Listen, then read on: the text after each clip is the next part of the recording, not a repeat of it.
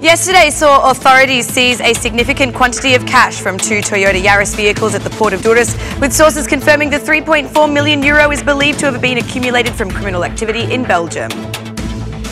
Before the final decision to open Albania's EU negotiations, Germany wants more work to be done on electoral reform and vetting, thus giving a conditional yes to open negotiations, though there are still reservations.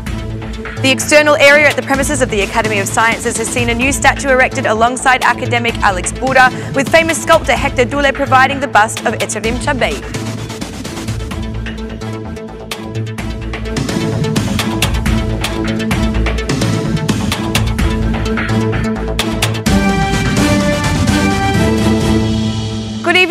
6 o'clock on Monday, the 25th of June 2018. Welcome to the English edition of Ora News. My name is Alexandra and I'm here to bring you the day's top stories from across the country translated into English. About 3,470,000 euros has been seized, found in two Toyota Yaris cars at the port of Durrës. Sources have specified that the cars in question were three-door models with the boot or trunk used to store the cash. From first investigations, it has been determined that the vehicles had been driven from Belgium transiting through Ancona in Italy.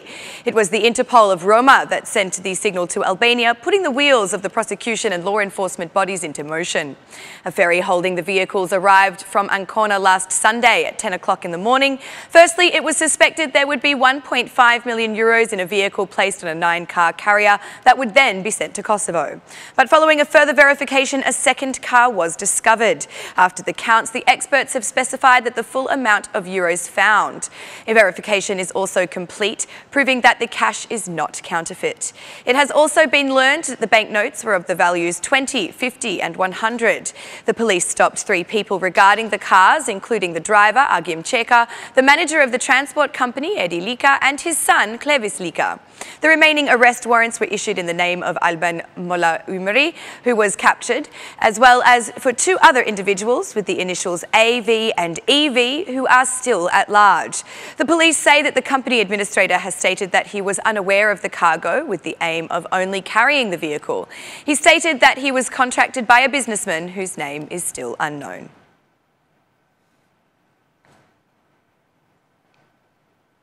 The Democratic Party chair, who forewarned last Thursday of the cars full of euro that would be caught on Sunday at the port of Durrës, says the money belongs to one of the main drug trafficking gangs in Elbasan.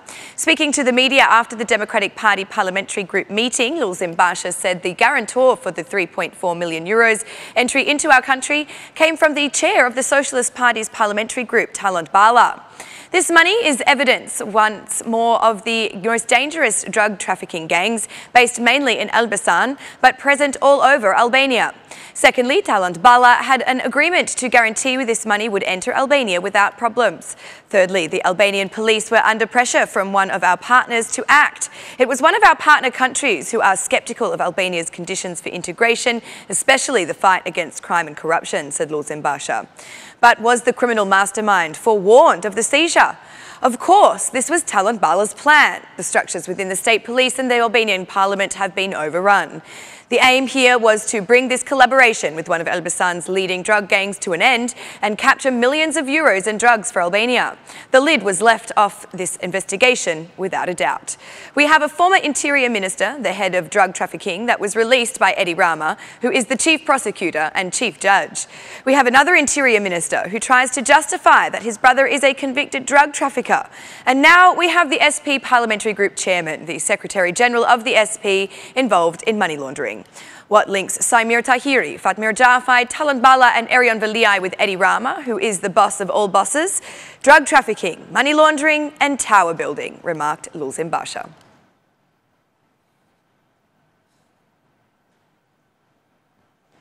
At the Health Commission, the agenda was for some changes in the law against family violence dominated, as well as the political debate on the issue of the 3.4 million euro seized at the port of Durrës. The opposition in the Parliamentary Commission said that Edi Lika, the trailer Aruna arrested by the police, had already been sentenced by the Court of Appeals with six months of imprisonment for family violence. Based on this, it was suggested that if he was going to jail, it was unlikely he would be used for drug trafficking. As the leader of the Commission, after Petrit Vasili was absent, SP MP Elisa Spiropali demanded that the facts be denounced at the prosecutor's office. The commission could not function normally due to the verbal confrontations between the majority and the opposition, delivered in harsh tones. As such, the meeting was interrupted and upon the return to discussion, Spiropali said that the behaviour of the MPs requires a public apology.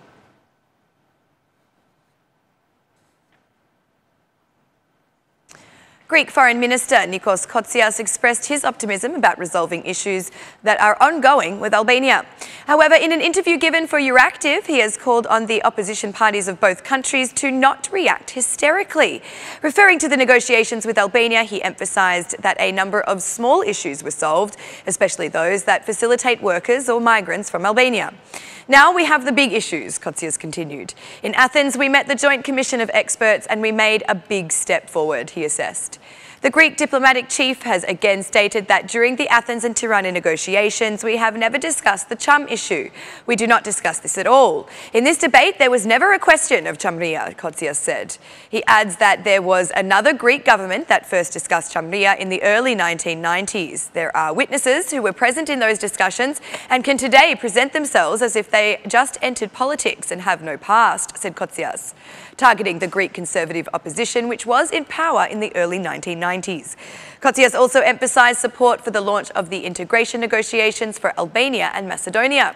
I'm afraid that if we do not give a date for the opening of the negotiations on Northern Macedonia, we could put at risk the effort we made with bigger fines and compromises on both sides. Further, if one of the two countries starts negotiations, let's say, for example, Albania is left out, this will create a situation of instability in the region, determined the Greek foreign minister.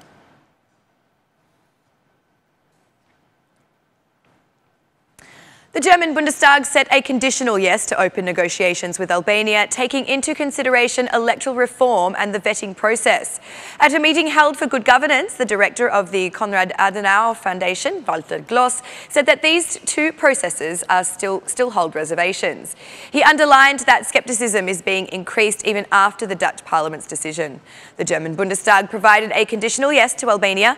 The decision will be closely related to electoral reform and vetting for judges and prosecutors. Although justice and electoral reform are progressing, we have reservations. I am sceptical of opening negotiations because no positive news is coming from the Netherlands, said Walter Glos. Glos informed that Germany is making a contribution to electoral reform and that they expect a final draft in autumn. Electoral reform is very important to us as we have contributed and are continuing to give our experience. We wish to have a final draft by autumn, said Walter Glos. The director of the Konrad Adenauer Foundation said the decision to open Macedonia's nego negotiations was easier to facilitate as the conditions in this case differ.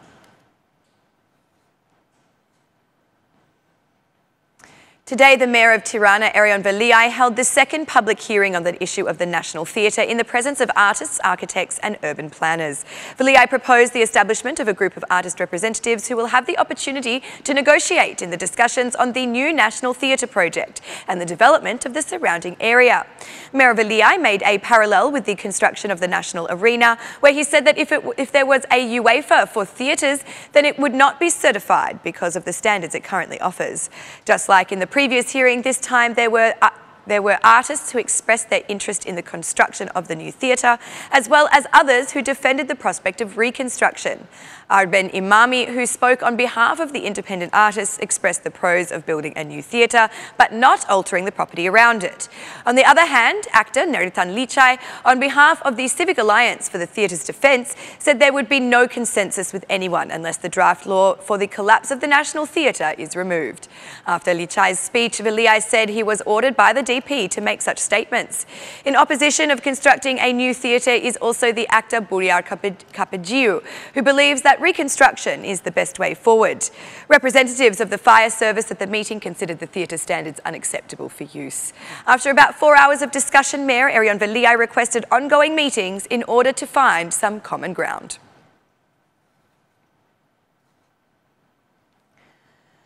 The bust of the well-known Albanian researcher and literarian Eqerem Çabej has been erected today on the premises of the Academy of Sciences. Attending this event, Prime Minister Edi Rama demanded that during the nationwide year of Skanderbeg, the bachelor's PhD thesis of Çabej be noted, as according to him, it will bring qualitative debate on Albanology. Considering it as one of the most difficult speeches that he has ever given, the head of the government raised the image of Eqerem Çabej and his valuable contribution to Albanian culture. Surely if he were here, Eqerem Çabej would have given us, without a doubt, the proper word or phrase in our language for this reference. However, Hector Dule's skill has come to sculpt for eternity what could not be summed up in a sentence or in a paragraph. That is what Eqerem Çabej left as the oxygen in the veins of the Albanian language, said Edi Rama. As mentioned in the Prime Minister's speech, the bust of Eqerem Çabej is the work of prominent sculptor Hector Dule. And that's the news across the country today. Thank you for watching our English edition this evening and be sure to join me again every Monday to Saturday at 6pm for the latest news from Albania. Once again, on behalf of Ora News, thank you and good night.